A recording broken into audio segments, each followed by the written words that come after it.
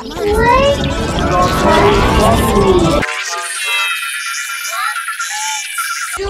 that already. And there's no way two kids can walk on Because they get